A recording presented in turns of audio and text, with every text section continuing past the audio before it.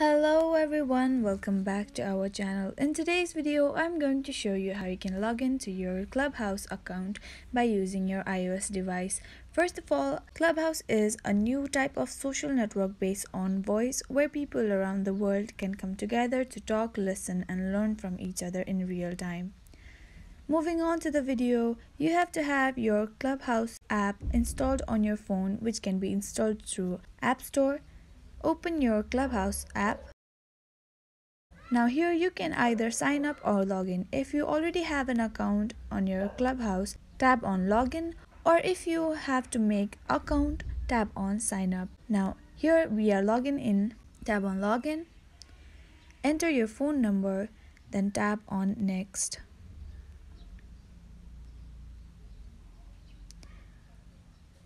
It will send a verification code to your phone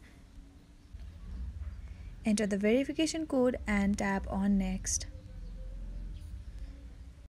Now you have successfully logged in to your Clubhouse account. This is simply a feed or FYP as in TikTok. Here you can see people, people you may know here.